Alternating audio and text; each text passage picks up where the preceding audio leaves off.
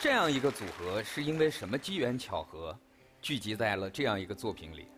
主要还是古诗同韵。是不是去年节目中您就说过这个项目正在？去年其实是你像，呃，赵家静吟唱的这个，呃，《使之塞上》，就是其实就是古诗同韵里边的一首。大漠孤烟直，长河落日圆。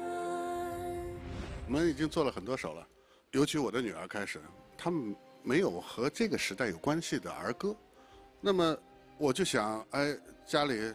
我父亲也是作曲，我也是作曲，我们不为什么不能做这么一些事情？我们挑选了一部分作品，啊，来给他们去唱。我们也请雷佳这样的，包括还有很多歌唱家，也带着他们这些孩子一块儿来演绎这个作品。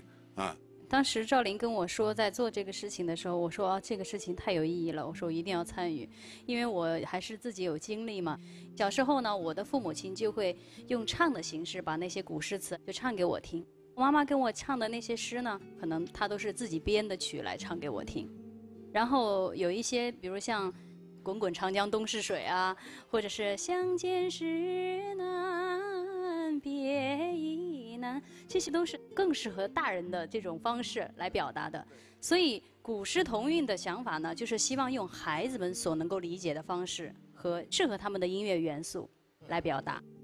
我自己也是一个妈妈。现在也希望能够有这样的机会，给孩子们营造这样一个歌与诗的世界，用唱的方式教给他们古诗词。谢谢。